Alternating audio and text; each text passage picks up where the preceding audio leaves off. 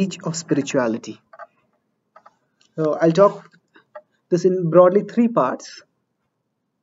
I'll give one thesis statement, which will be the essence of the class. Then I'll elaborate that. And then I'll talk about how that applies in our life. So science is the study of matter.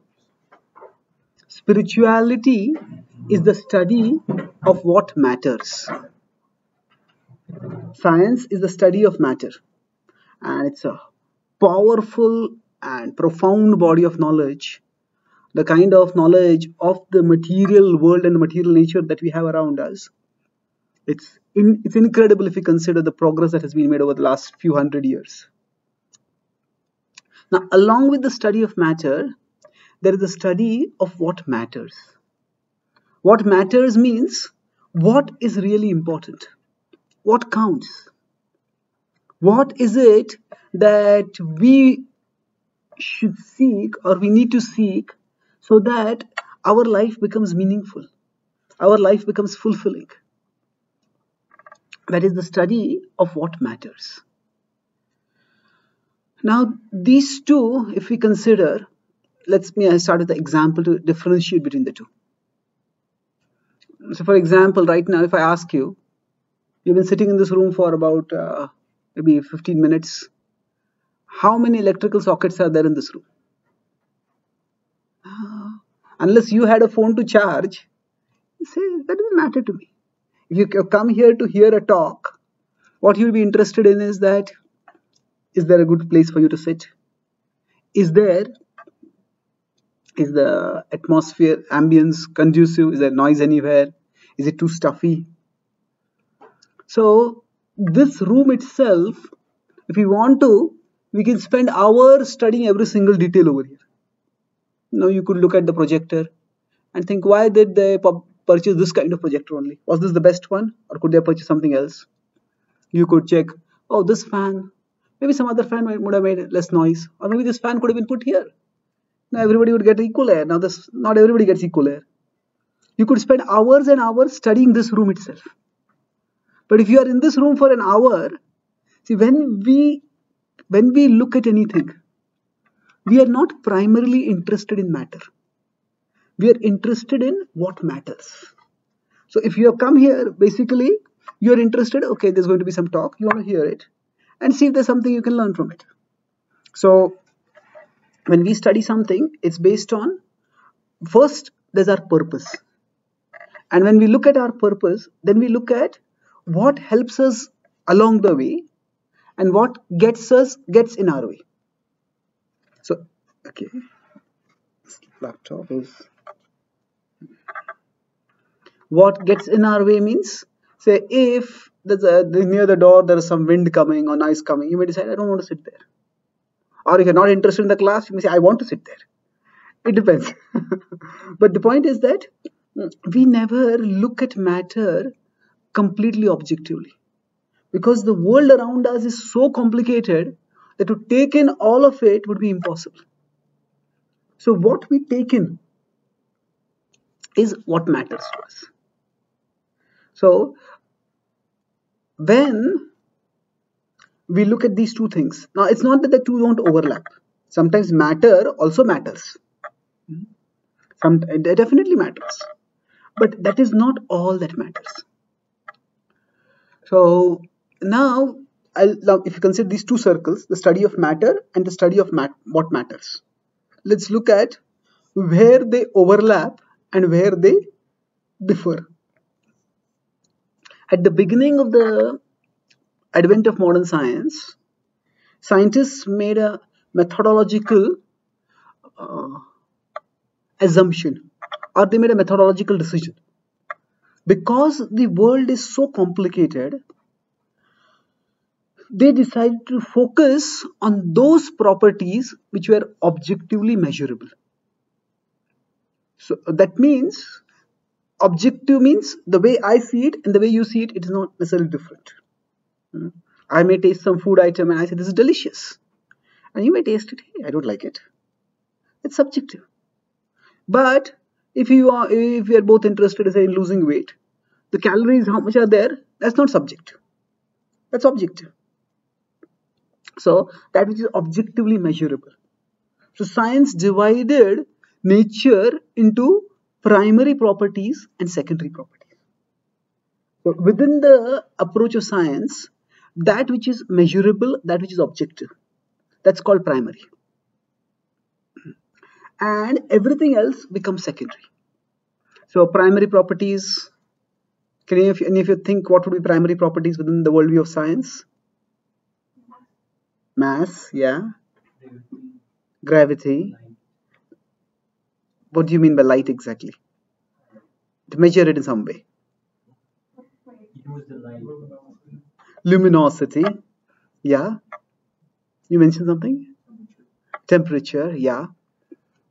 Velocity, velocity. All these would be objective parameters.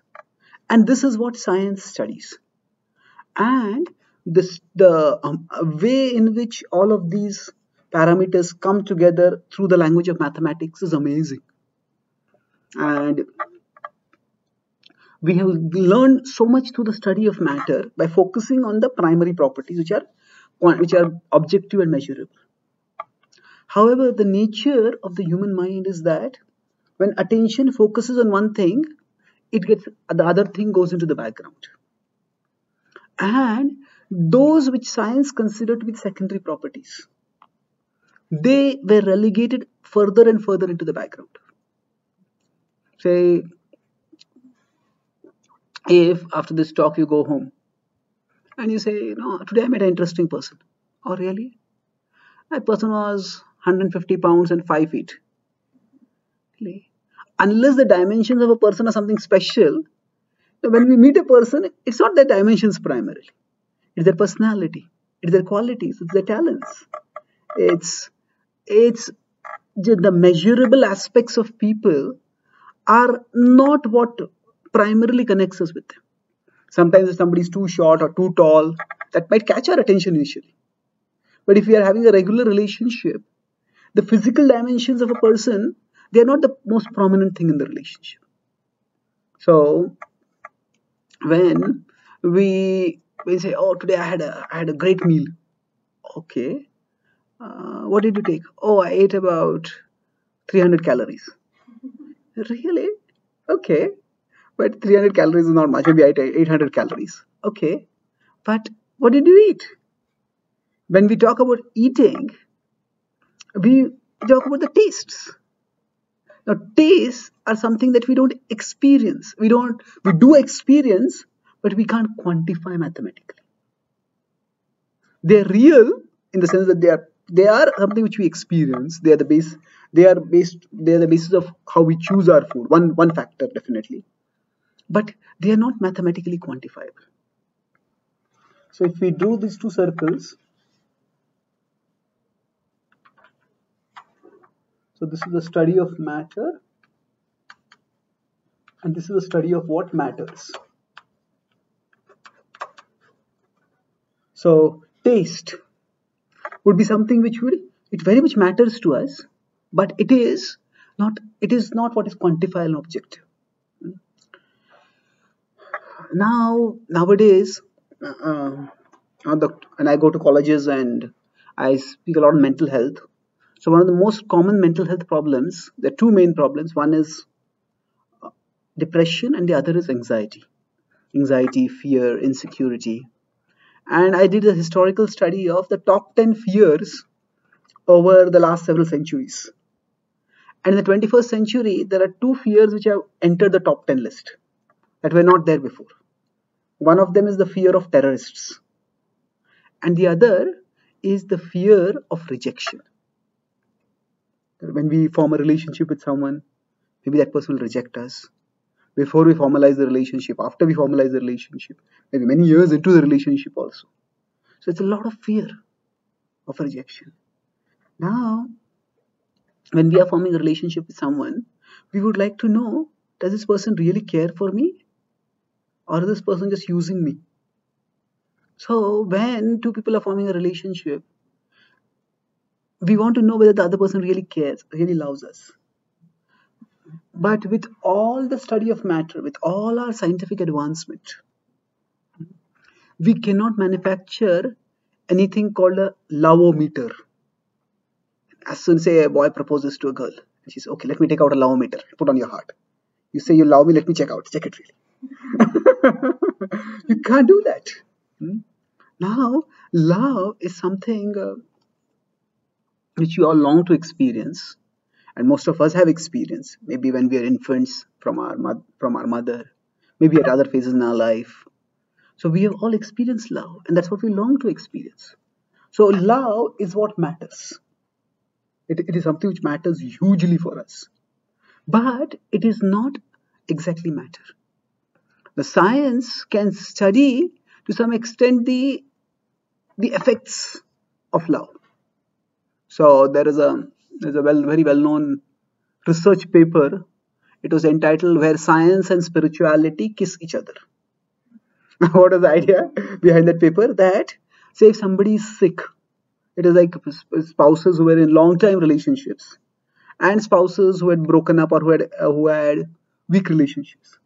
So in general, if two people had a similar kind of disease, if the sick person felt loved and valued and cared, they would recover faster. Of course, love is not a cure all, and there are some diseases which are just incurable. And it's not a substitute for medicine, but it is a complement for medicine. So the idea here is that our what matters that means when somebody is sick, you know, do they if somebody loves them somebody cares for them then they also have the desire. I want to live. My life counts at least for somebody. So love matters for us. So there is the circle of what matters and there is circle of matter. So what has unfortunately happened is as i said that now all that i'm saying none of this is a criticism of science. I did my engineering and i have many scientist friends and i respect them I learned a lot from science. In fact, I primarily use the scientific approach in my study of spirituality also. So I'm able to separate the you could say chaff from the wheat in spiritual circles. But there is so there's no, no intention of criticizing science. What we are trying to do is contextualizing science. Contextualizing means say every tool for acquiring knowledge has its strength, has its focus. And as it has its focus, it can show that part very well. Now, I have a microscope, and if I have a microscope, I can see even small objects which I cannot see with my eyes. But no matter how powerful a microscope may be, I can't measure my temperature with the microscope. Even if I have a high fever, the microscope cannot tell me that fever. So every tool of knowledge has its power. But at the same time, it also has its, the, the very idea of scope, it has a strength and it has a scope. So science has a strength that it has been able to reveal the mathematical correlations between the objective measurable parameters of nature in a historically unprecedented way. That is its strength. But then it also has its scope. The scope is that which is non-measurable, that is left out. And if we consider our lives, it is the non measurable parameters that matter a lot for us. So, going back to the starting point, that I said that when you come to a room, we're not primarily interested in the structure of the room. We are interested in how, in that part of the structure of the room, which will serve our purpose. So if we extend this point to, to the world and our existence in the world, then we what is what is our purpose in life? And how do we serve that purpose? What will come in the way of that purpose? So if we consider these three questions, what is our purpose? What will come in the way of our purpose? What will further our purpose? So, the Nobel laureate scientist Steven Weinberg, he made a revealing statement. The more the universe is comprehensible, the more it seems pointless. the more the universe becomes comprehensible, the more it seems pointless. Now, this is very strange. Say, if right now I'm talking and suddenly, say, Vinod passes a message to me, then I'll look at it and then I find it seems to be a scribbles. Then I would wonder, you know, why would somebody just send some scribbles? Maybe it's written in some code language that I don't understand. I'll try to figure it out. Now, if I start studying, poring over it, and I find that, oh, this, this particular shape means A, this particular shape means Z, this particular shape means M, or whatever. Each particular shape represents a particular alphabet. And then, as we move for, as I move forward, okay, this combination means this word. This combination means this word. This combination means, means this word. So then, as you come closer and closer to understanding what this what the various scribbles mean, then what should happen is a coherent meaning should come. If somebody has put all those well-formed scribbles over there, then there should be a coherent meaning. But the more I understand the individual elements of that scribbled message, the more the overall message seems meaningless. Hey, what's going on? Maybe I'm missing something over here if everything had to be meaningless, then why should the, the scribbles be so carefully done that they represent something? So, so what Weinberg is saying is that when we look at the universe, we have been able to find out amazing correlations between various aspects of nature. So f is equal to gm1 m2 upon r square, e is equal to mc square, Schrodinger's equation. All of these are uh, amazing insights into how mathematics can correlate observed natural phenomena. But beyond this, okay, this is this is how this is how fruits fall down. This is how planets move. This is how temperatures changes. This is how uh, mechanics objects move. Okay, good. But what does it all mean? It's like each part of the universe we are finding it is it is orderly it works according to some some order some law but the overall thing it makes no sense. Why do we exist? Oh we just exist. We are like um, stardust come alive. We are protoplasmic bags who are alive for some time. And uh, sometimes a bug or a bang hits us and then we are finished. So within our life we look at the world and we try to get a sense of meaning within that. We try to make sense of things. So within our life, within the world, we try to make sense of things, but our life itself doesn't make sense. The world itself doesn't make sense. So that is something very strange. Might we be missing something? You see, when something doesn't make sense, we have two possible alternatives. One is that we look for a bigger picture which helps us to make sense of things. Or we just say that oh, things won't make sense and leave it at that. If you consider history of science, uh, Newtonian physics was the bedrock of science, not just physics, but all of science till the 20th century. And classical physics, which emerged on that bedrock, led to so many transformative technologies and insights. But by the dawn of the 20th, 20th century, it is found that, okay, if you look at fundamental particles, their movement doesn't seem to obey Newtonian laws. And if you look at cosmic objects moving at speeds near the speed of light, even they don't seem to obey the laws of Newton. So then, what did scientists do? They expanded their frame of reference. They expanded their frame of reference. Okay, maybe there's some bigger theory of which the Newtonian physics is a, is a subset. So now the understanding is general relativity, and within that, Newtonian physics is one is is what op operates at the anthropic level, at the level of which we observe. But there's a bigger theory within which this theory is contained. So normally, when we don't, when something doesn't make sense, we intuitively change the frame of reference in which we put things. So for right now, say if we are talking and suddenly the light light goes off. The first thing you might think is hey did somebody accidentally touch the switch somewhere because of which the lights went off? If not say okay have the lights got spoiled? Or you just peer in the next room and say are the lights gone over there also? So basically what we are doing when we see one event light gone off we try to place it in various causal boxes. So one causal box is this light went off because the switch turned off. The other is this light went off because its lifespan expired, ended. Hmm? Or this light, light went off because in the whole building or in this wing of the building, power has gone off. Now you could escalate it further. Maybe America was attacked by terrorists and America's power plants have tumbled because of that. Or it could be that there is a solar flare that comes from the sun and the solar flare comes too close for comfort to the earth then all electro electrical and electronic items on the earth will stop working. So you could say this light going off the causal chain can be extended to the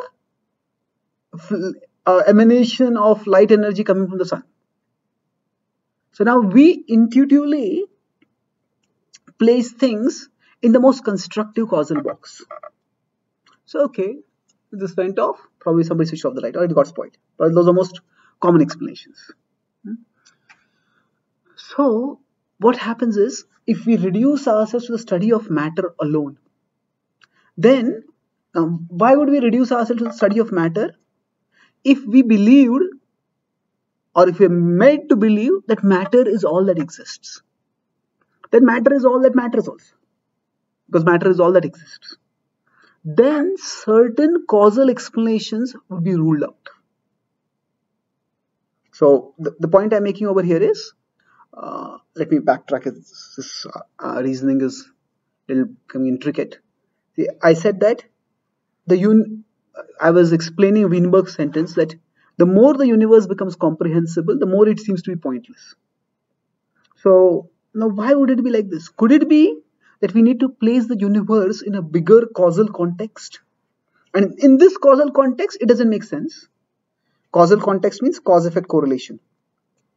Maybe we place it in a bigger causal context and then it will make sense. So, the yoga texts from India offer such a bigger causal context. And so till now, I have outlined the, the challenges, the limitations of sticking only to the study of matter.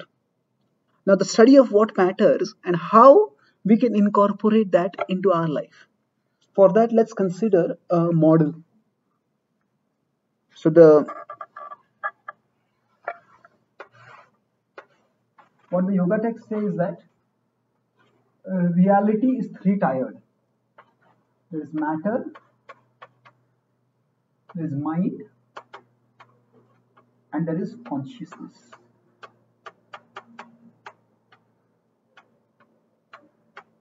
You could even use the word spirit for this. So reality is three-tiered. And even our existence is three-tiered. We are not just our physical bodies.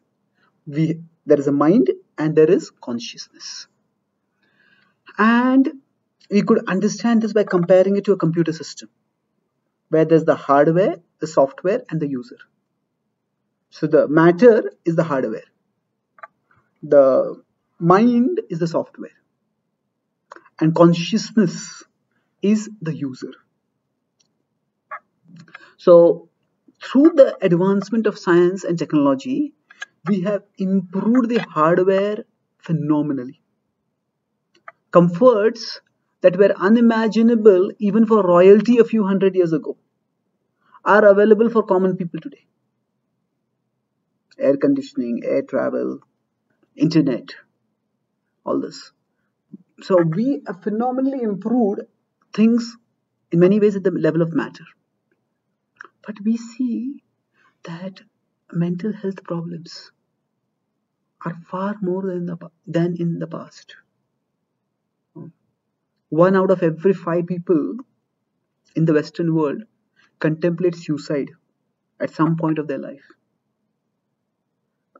one out of every 10 people suffer serious depression and 1 million people commit suicide every year now 1 mil this figure 1 million is more than the number of people who are killed in murders and violent crimes all over the world. That means more than the number of people who are killed by others are the people who are killing themselves. This figure 1 million means one suicide every 40 seconds. That means since I started this talk, about 40 to 50 people have committed suicide. So, of course, now suicide can have many specific causes and it's a complex issue. But essentially, it's not that life is physically unbearable. Others might bear that same situation. Basically, when suicide happens, what is happening is the software is getting so corrupted that it destroys the hardware. The hardware becomes utterly dysfunctional. The mind attacks the body and destroys the body. So, like I started from early, that see, when we come into a room, we are not primarily interested in matter. We are interested in what matters. So today, through science, we have improved material facilities, material comforts, but the mind is going increasingly wild. And that's why we can say today people are comfortably unhappy.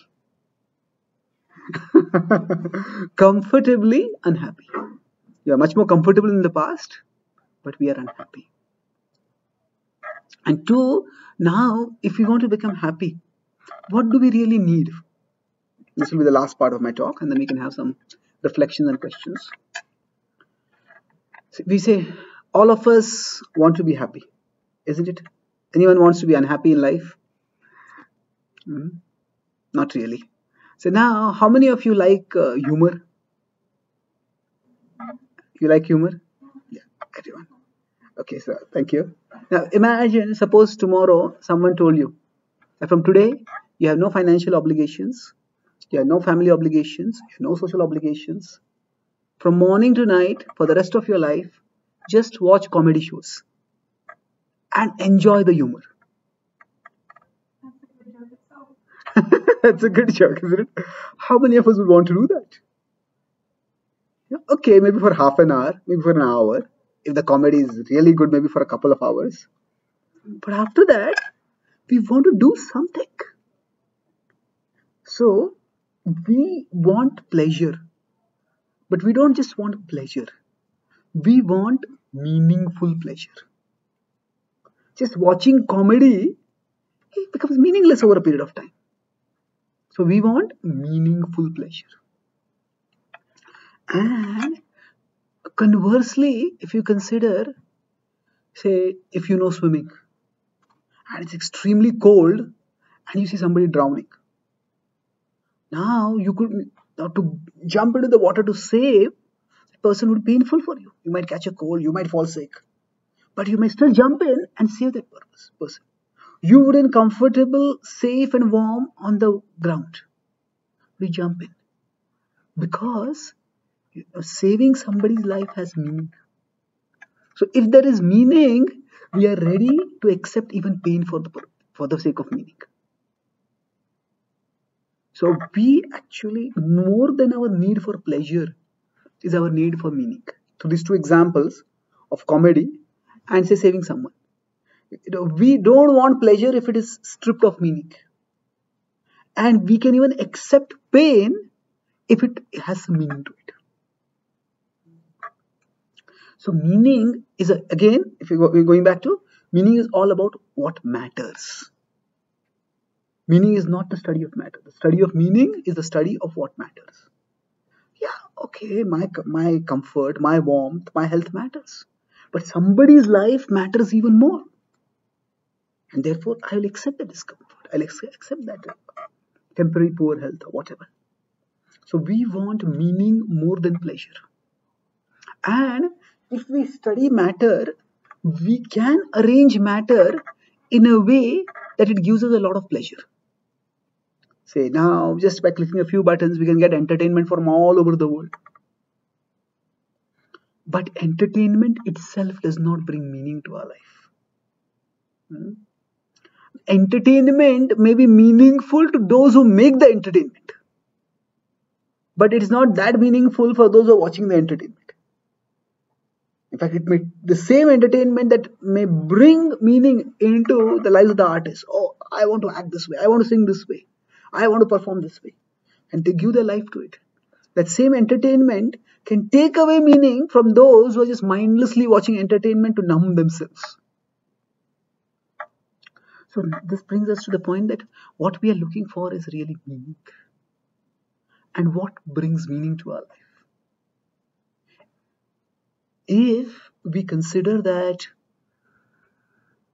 we are just particles of matter who somehow come alive, stay for some time, and we die, and it's over, then it seems as if life it seems as if life has no meaning. So, a worldview that studies only matter and a worldview that believes that matter is all that exists, it consciously or subconsciously strips our life of meaning. And that's why, if if people don't have anything to fight for, they won't become peaceful. If people don't have anything to fight for, they will fight for anything. that means if we don't have something very important to do in our life, then our trivial things will start quarreling, will start fighting.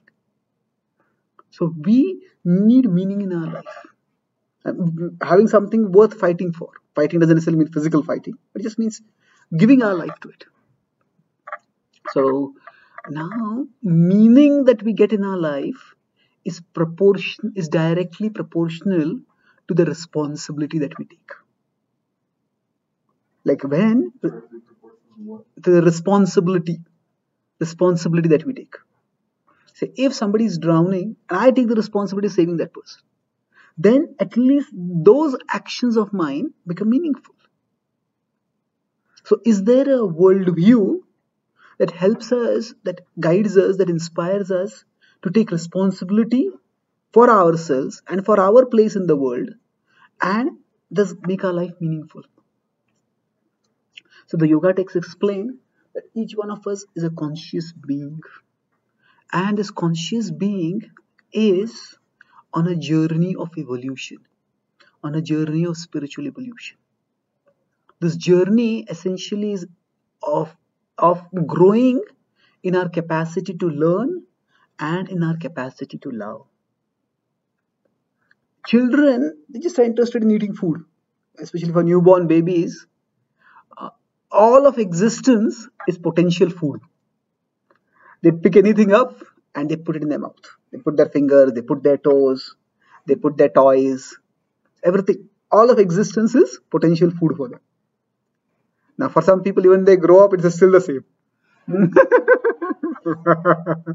but as we grow up, you have to learn about new things. In a baby, is this food? Is this food? Is this food?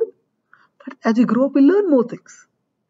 And babies, they just love their toys. But as we grow up, there's much more to love. There are many bigger things in life. So as we grow naturally, we grow in our capacity to learn and we grow in our capacity to love. A spiritual evolution means that this same capacity uh, extends beyond the arena of matter to the level of spirit.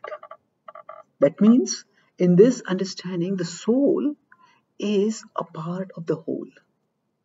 And every one of us, as a part of something bigger than ourselves, there is a finite consciousness, there's an infinite consciousness. And each one of us is a part of the whole and each one of us can contribute in this world. So, spiritual evolution happens by two main things it's connection and contribution. It's our connection that we establish with the ultimate reality. Yoga is not just about physical exercises. The essence of yoga is, is developing a spiritual connection to our core self and beyond that to the ulti- to the ultimate self, to the ultimate reality. So various practices of yoga they help us to connect internally. And when that internal connection is established, that brings stability to us. That internal connection becomes like our anchor. Life will send many storms our way. If we are in the ocean and waves start coming toward us, no matter how strong we are, we can't ourselves resist the waves. But if we could hold on to an anchor, the waves would still hit us, but they won't hurl us away. The same energy used to fight against the waves, if we use that energy to hold on to an anchor, our chances of stability are much greater. So life will have many storms coming our way. People will betray us sometimes. People will disappoint us. Sometimes we ourselves will disappoint ourselves. Uh, and life can be terrible at times. So those storms, when they come, if you're not to be swept away, our connection, inner connection, will help us to stay connected. And these storms can sweep away many things of value in our life. But an inner connection will be uh, something of value which can stay with us always. And then there's outer contribution. Contribution means every one of us has abilities every one of us has potential and you know, through each one of us the light of the divine can shine into the world making our life better and making our world better and to the extent we live half-heartedly to the extent we live non-spiritually to the extent we just live for the pleasures of the moment to the extent we just live for the whims of, and the desires that come up within us to that extent that light of the divine can't come through us. We block it. And that makes our life darker and that makes the world darker so each one of us is intrinsically connected with the divine. To the extent we realize and strengthen that connection then we can maximize our contribution. So every one of us in our own small or big ways can make a difference. And we can make the world brighter. We can make our life brighter so somebody might say that you know, you know the world is so big what what difference can i make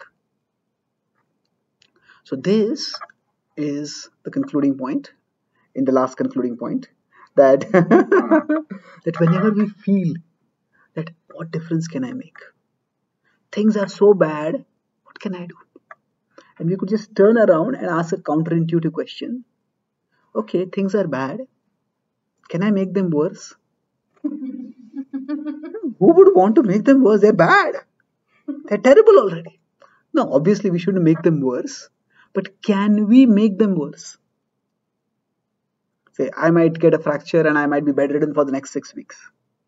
say, I'm powerless. I can't do anything but I can take a hammer and crack my other knee also.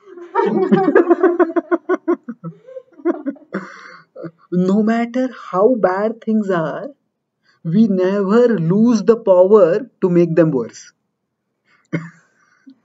and what this means is if we have the power to make things worse, then we also have the power to make them better. So, whatever place we are in our lives, it might be a good place, it might be a bad place, but we have the power to make it better.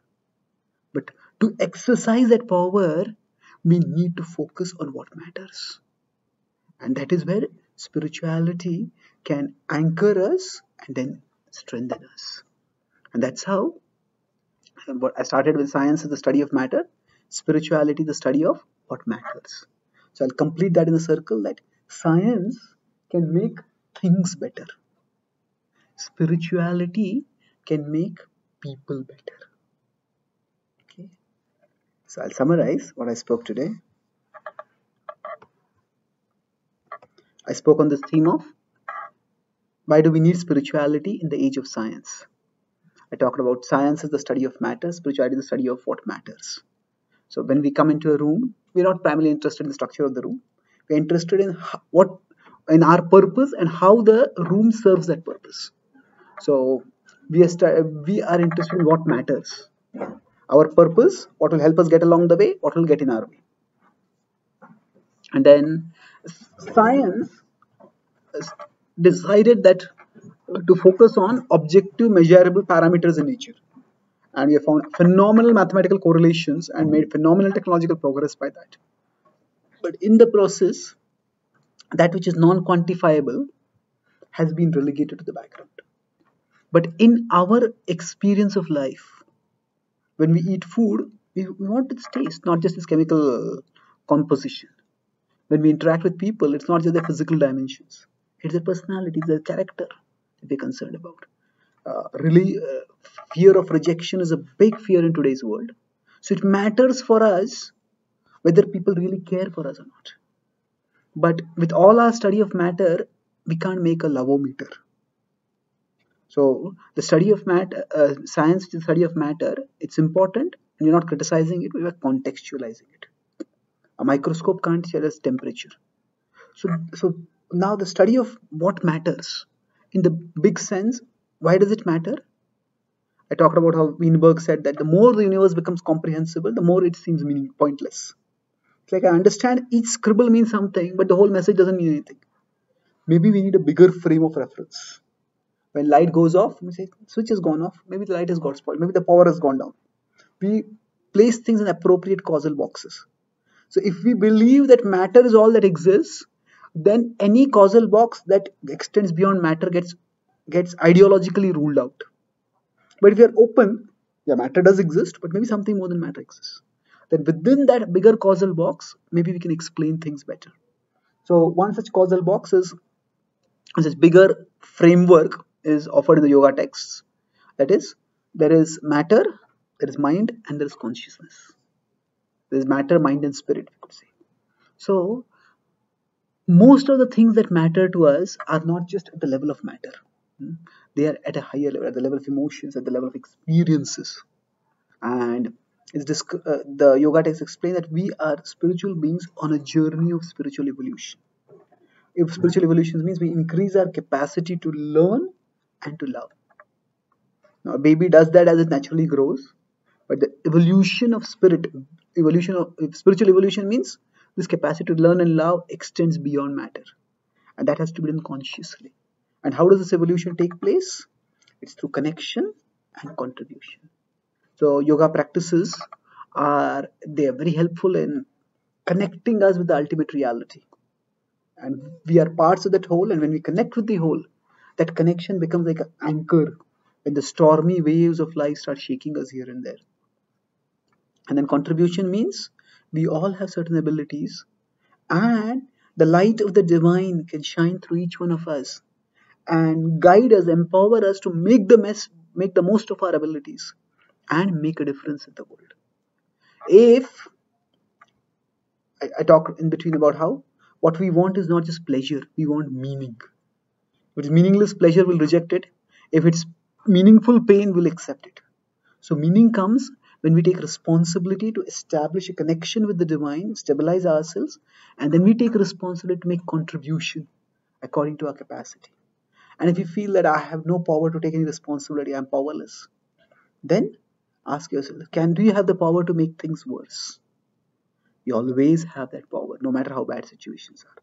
Then we also have the power to make things better. And science can make things better, spirituality can make people better. Thank you very much.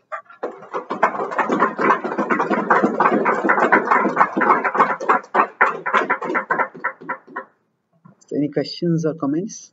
What would you say, like people that feel like they're chasing meaning more, but feel like they have a lack of pleasure? Like they feel that what they're doing is meaningful, but they don't feel like they feel like they're doing it just for everyone else, like to help the, the world Okay. If somebody feels that they're doing a lot for the world and that gives them meaning, but there's no pleasure left in their lives. All of us have certain conceptions of what, what gives meaning and what gives pleasure. and these conceptions may not always match with our experiences. That means somebody may say that you know you do this, this is enjoyable. Let's let's eat this food, let's drink this, let's watch this game. They may find it enjoyable, but you may not. So there are certain things which are uh, pleasurable for some people, they not be pleasurable to others. So we have certain conceptions of what is pleasure, and they may not necessarily match with our experience of that thing. And conversely, with respect to meaning, meaning is not just uh, we giving ourselves indiscriminately. The whole idea is there is connection and contribution. We need to ourselves be grounded, we need to ourselves be nourished. Otherwise, mm, it's like a person who is uh, drowning while trying to save others. Saving others is good, but if we drown, then, then somebody else has to come to save us.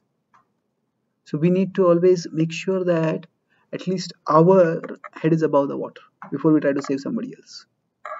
It said that the first thing that we can do for the poor is not be one of them. not in the supercilious sense that I am higher than you, but if I am also poor, how much can I help them? So same way, we need to we need to nourish ourselves and we need to make time for the things that nourish ourselves. So generally, if we if I talk about this circle, the study of matter and the study of what matters. So you could conversely make two circles: the study of what circle of what gives you mean, meaning, and circle of what gives you pleasure. Now, if we are only in the circle of meaning but no pleasure, then it will become like a constant austerity that will exhaust us. If we are only in the circle of what gives us pleasure but no meaning, then life will become numb and dumb. Just it become it will become dead end. So we need to be at the intersection of meaning and pleasure. So we have to find out what is it and to what quantity we can do it so that it's meaningful for us. I was just uh, in Canada. I was speaking to a gathering of doctors, and they were uh, explaining how among medical professionals also there, there is a there is a phenomena called compassion fatigue. This a doctor keeps treating too many patients, too many patients, then they're not just emotionally there to connect with the patient, and then they might make mistakes. They might uh, so they have to replenish themselves, and this applies in every field of life. Does that answer your question? Thank you. Yes. What, what do you think were the conditions in society that created this our things that don't matter, more into the actual matter? What conditions do you think led us to narrow our, narrow our scope? Okay. So what led to the uh, narrowing of our scope so that we focus more on matter than on the study uh, than on than on what matters? Very good question. I'd say broadly hmm, three factors. One is that what is visible often becomes prominent in the consciousness, and matter is what is visible, and the changes in in at the level of matter that scientific progress has brought about they are dramatic. So the whole idea becomes that this is so this is so fantastic. Now in the past when i was growing up in india maybe in the 80s they were like people didn't have tv at all. So often we would go like one mile to one person's house who had a tv and we watch tv for an hour and come back. I would think that was so good now just by clicking a few buttons we have hundreds of channels and thousands of websites. So many things available. So now the notion becomes that there are thousands of channels. Some something must be enjoyable. At least one place must be enjoyable. So what happens? The the visible naturally catches attention. So because matter and its transformations are so visible it's natural that our attention has got caught over there. And another thing that has happened is that simultaneously in society there were certain structures that brought meaning and value to people's lives so it could be family it could be religion Now, family sometimes can be abusive. Religions can lead to superstition and blind faith. Religions can also lead to abuse. But there are certain structures which bring meaning to life. Hmm? Now, of course, sometimes the structure can take away meaning also. Okay, It can become oppressive. But the structure itself is required for getting meaning. Because say, what do I mean by a structure? Say, like if you come to a university to study, hmm, there's a structure for you. You study in this level, study in the first year, junior, then you become next year sophomore. Then you go to uh, freshman, sophomore, junior, senior, like that. It's a structure, and the structure gives you gives us a is a pathway for progress. So if the structures themselves collapse, then the pathway for progress collapses, and then what happens? We start uh, losing a sense of what matters. Because if if I start believing the structure itself is useless, now some structures can be useless, no doubt about it. But that doesn't mean every hierarchy itself is useless. If you want self-esteem, self-esteem doesn't come just by we telling ourselves "Hey, you are great, or it doesn't come just by people telling you you are great. Self-esteem really comes by having a purpose worth pursuing and progressing toward that purpose. If, say, you want to learn some computer language, or you want to learn some social skills, or whatever, and now self esteem, how does it come? It comes not just by thinking I'll respect myself, but that, that I do something which is tangible. And for doing that, structures are required.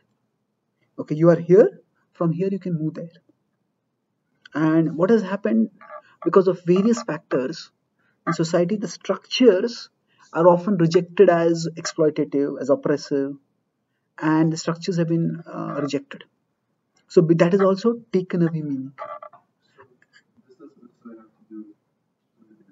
Do you have any intuitions or thoughts about the types of structures that might be towards appreciating our interconnectedness okay. Yeah just let me complete this. Good question. Uh, so i said the second point was the structures which have been lost. So visible becomes visible is attractive the structures have been degenerated and third factor also is that there is overall a glamorization of matter and material things. See if you consider just 200 300 years ago there was there were no ads at all. The advertising industry didn't exist. Hmm. if somebody was selling some fruits the advertisement was just their voice. Then ads started now if we consider the start of the 20th century most ads were about how good the product were, is they're functional. But then sigmund freud came along with his insights about how the human psyche works. And then they had the idea that you know, people are governed not so much by reason as by emotions by feelings. And now today most ads are not so much about how good a product is but how good the product will make you feel. And so there is a lot of glamorization of the material and the sensual. And that's why we get captivated. We get captivated. So in general the visible is more attractive. But when it's systematically made more and more attractive seductive then uh, we just get caught in trivialities Hmm. In when the cold war was going on there were this fear that weapons of mass destruction may destroy the whole world now also some extent the fear is there but it's not that prominent but what we have is weapons of mass distraction uh, much of the internet, the social media, just keep us endlessly distracted. So we don't focus. We just don't focus on what is of value. Okay. Mm, now, regarding the question of what could, what are the structures that can bring value, rather than focus on specifics, I'll talk about principles. See, there is, if you consider a mountain, at the bottom of the mountain is material consciousness where we believe that matter is all that exists matter is all that matters at the top of the mountain is spiritual consciousness, where we have a holistic picture of reality and we focus on what matters.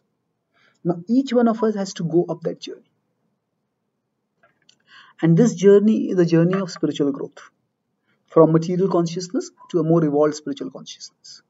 Now, from the bottom of the mountain to the top, there could be many paths up. But the essential characteristic uh, would be that as you go upwards, we become less dependent on material ups and downs. We are less vulnerable to being tossed about by them. The stronger I am holding onto the anchor, the less the waves will shake me. So basically, the test of any spiritual path would be how much it makes us spiritually connected and how much it makes us materially immune, how much it makes us materially less dependent. So now there could be many different paths up. So I'm a, uh, we are a part of a yoga tradition called the Bhakti Yoga tradition. So the musical meditation that we did in the beginning. This is also a means by which we use sound to ascend on the journey of consciousness. So there, the idea of structures in the spiritual path is that we follow certain disciplines. So for example, we meditate every day for a particular amount of time, and that meditation is a part of our, our spiritual disciplines, and that's how we are taking steps up. So broadly, we say that there are three broad principles for going up on this journey. It's A, B, C. It's A is association, the kind of people we associate with that shapes who we become. Now, if we associate with materially minded people, that's how we will become. Our desires are not just linear, they are also triangular. What do I mean by this? Triangular desires. Does any of you know what is a baklava? Anyone know what is a baklava? What is it? It's a dessert, okay. Anyway, so about five years ago, uh, five seven years ago, I had gone first time to Australia, and I had I had never heard of a baklava. So um, a friend invited me to their home for dinner, and they said for dessert we have got baklava. Now the bakla the name baklava doesn't sound very sweet. baklava, okay. so I said maybe later. and then they asked there's one more friend who had come with me to take that baklava, to take that uh, to for for lunch. So then he said, "Yeah, you give me." And then he took the baklava and he started eating it, and he was savoring it with closed eyes, relishing every lick. And then I look at him and I said, "Give me one also." so what happened?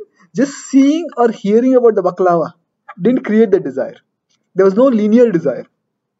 But seeing him eating the baklava created the desire. So there was a triangular desire. So in general, with respect to good or spiritual things, it's generally the desires are very are not very often linear. Uh, how many people go to a gym and fall in love with the uh, exercise machines in the gym? There's no linear desire usually. but you see somebody who's doing workout and they're looking fit and they're looking good. Hey, I want to become like that. How did you become? You did this exercise? I'll also do that. So in general, our desires grow, especially our good desires, uplifting desires. They grow more triangularly than linearly. That's why association is vital for going on the spiritual path. So say programs like this, this is a way we can get uh, get some association spiritually minded people. So that A is association. B is books. Books is we read spiritual wisdom texts. So the Bhagavad Gita is one book like that. There are there are various books of wisdom that have guided people in the past in the journey towards what matters. So I write every day on the Bhagavad Gita on a blog called Gita Daily. I write a 300 word inspirational meditation reflection along with a 5 minute video and audio. So that's books. You know, we study wisdom texts. Make time for studying those texts. And C is what I earlier talked about was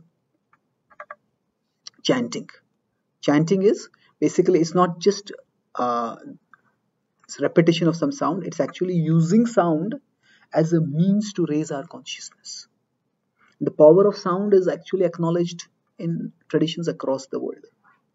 Sound is what enables us to reshape reality.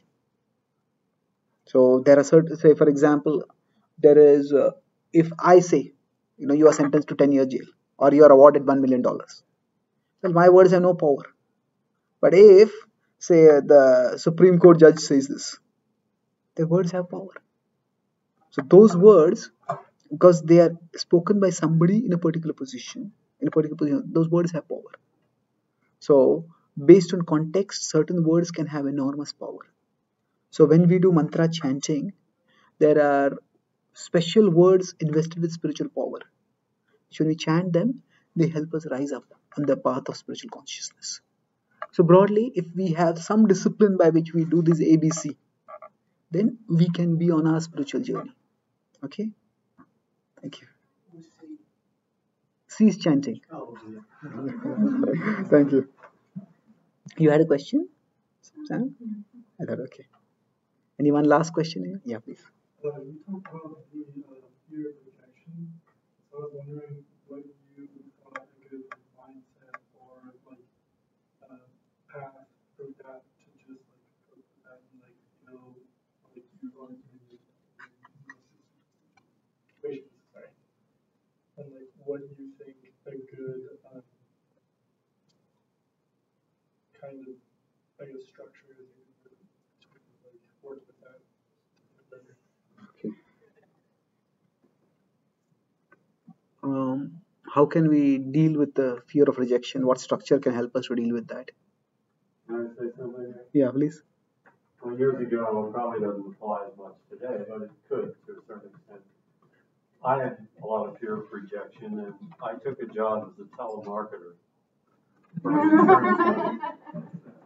And I learned all these different ways that people would kindly say, sorry, I'm not interested, or hang up on me, hundreds of times. And that, that helped me. I realized that I wasn't gonna die when, you know, people weren't interested. But there, there are other ways, I'm sure. Yeah, sure. So I was actually in America's class and talked about this today. Um, this idea that we need to define ourselves based on how other people see us, based on if they accept or reject us.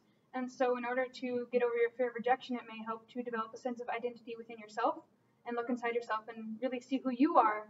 And as long as you don't reject yourself, which is maybe something some of us have already done, as long as you don't reject yourself, it's impossible to feel bad about somebody else rejecting you because you've accepted yourself, so you're probably the best person you know, and that's their loss, not yours. Um, that's how I see it, at least. yeah. I think both the points are how do we deal with fear of rejection? I'll I'll try to give an answer and integrate both these perspectives. So basically, we are social creatures, and so if I speak something, and every single of one of you starts frowning and glaring at me, what did I think? What did I do wrong? So we are socially responsive, and to some extent, this social responsiveness is what preserves our sanity. At each moment, there could be hundreds of things which we could do. But say when a child is growing up, the child looks to the parents, and the parents they frown, oh, I should not do this. I should do this. So to some extent, there, there can be hundreds of unacceptable, outrageous thoughts and desires that can pop up within us. But the people around us, we know they will be scandalized by this. They will not. They will be displeased by it. Whatever. It keeps us. The mind can come up with very wild ideas. So the socialization keeps us sane. So the social circle around us does matter, no doubt about it. Mm, And we all want to feel accepted, and not just accepted, but also respected within whatever social circle we are in. Having said that, that this is this is a basic human need, so that along with that, there is the other side that each one of us is an individual, and some people just get along with some people and some people don't. So the real problem of uh, the fear of rejection comes when we we don't recognize the importance of individuality. See, what happens is that we tend to overvalue the people who devalue us, and we don't value the people who value us. That means someone I spend my whole life trying to please. And even if I do 100 things for them, they will say, You have not done the 101st thing. So we take our whole, like our, she said, our whole sense of self worth and uh, self identity based on the approval of some people. Now, sometimes we may just not get their approval. Maybe that's how they are, that's how we are, that's how the relationship dynamics works out. So we we shouldn't overvalue people who devalue us. Of course, there are times when we all need to be corrected, but generally, people who correct us, they are not people who have to devalue us. Okay, this you didn't do right, you do it this way. That's different from devaluing. And sometimes they may not even do it intentionally. It's just that their way of thinking is such that what we are doing doesn't make any sense to them. So, we all can look in our lives. Am I overvaluing some people who just devalue me? It might be somebody in our family, it might be somebody in our friend circle, uh, it might be somebody in in the in maybe in our whole social circle where we want to whose attention you want to catch. But with some people, it may just not work. There are two kinds of people, it said. Some people bring happiness wherever they go, and some people bring happiness whenever they go. so, but unfortunately, we overvalue those people who are critical. So we need to, yes, I may never be able to please this person. Just stop overvaluing them. We don't devalue them, we don't, but we just stop overvaluing. And then in our social circle, we look at people who already value us. And then we connect with them. Then we'll find that more meaningful interactions happen more meaningful connections develop by that and then gradually maybe maybe through that connection our self understanding grows our self confidence grows and then maybe in future somebody who would otherwise have rejected us they might also accept us because they might also see because it's not just they value us but we have become a person of value so it's uh, rather than focusing so much on being accepted by others or being feared to be rejected by others now we focus on first valuing those who value us, and we all need some level of emotional nourishment. Hmm. If we are too centered on somebody who doesn't value us, we will feel emotionally drained. And uh, inferiority complex comes not just because, say, somebody is inferior. Every one of us is inferior to everyone else in some way or the other. But it is when we obsess too much over people who make us feel inferior. Then that causes an inferiority complex. So if we first connect with people who value us, and then in their connections we start growing, then gradually we will be able to connect with those uh, who we also can, who would otherwise have rejected us. So it's a it's a process. So begin where you are, and make the connections which you can make right now and every relationship if it's a meaningful relationship it's a constructive relationship every relationship forces us to come out of ourselves and to become a better person because if i'm just alone then i'll do whatever i want to do and sometimes i'll do good things sometimes my mind may just prompt me to do stupid things. But if i'm connected with someone then i think no they may not like this. They don't want me to do this. And sometimes that protects, especially if it's a good association good relationship then that protects us from certain bad things. And then that can help us to bring out uh, the better side within us. To answer your question? Thank you.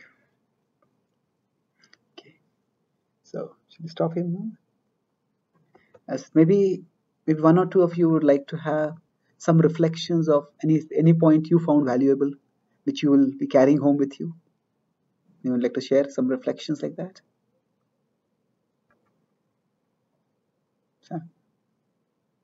Want to share something? I really like the theme here um, of matter of mind and consciousness being um, kind of just not necessarily separate, but not one single thing either, just kind of as a spectrum, if you will. Um, I really enjoy that three tier kind of path. Also, the number three is pretty nice. That's true. Thank you. Thank you. Anyone else? I enjoyed the compassion fatigue analogy because I'm pre med, so. yeah, It's spoke to you. yeah. Thank you. Yeah.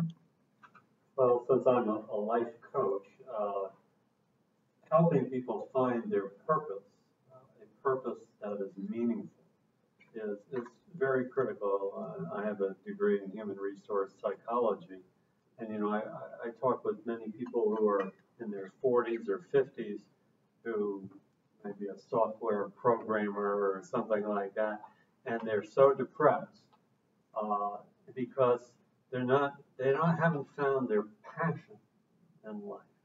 A passion meaning something that's really they get up each day and are excited about doing. Not not they're they're not in it for the eighty grand salary at Google, you know, and so they have three Mercedes and whatever else.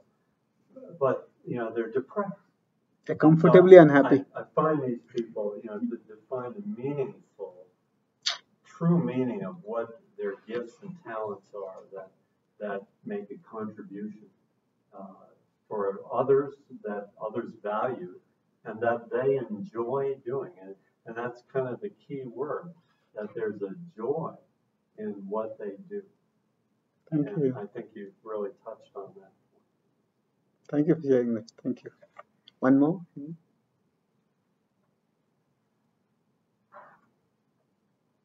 Yeah. I think the point that you were saying about expanding the uh, causal, Causal context, causal box, the frame of reference. yeah, and, and how it just shows that just by studying matter, we can't actually find,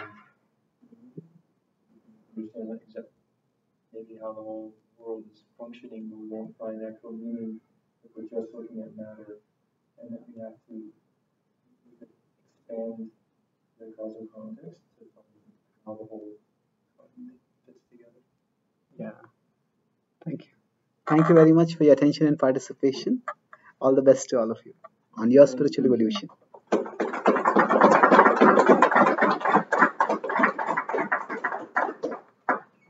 So, uh, I mentioned at the beginning, um, Chaitanya, has a number of books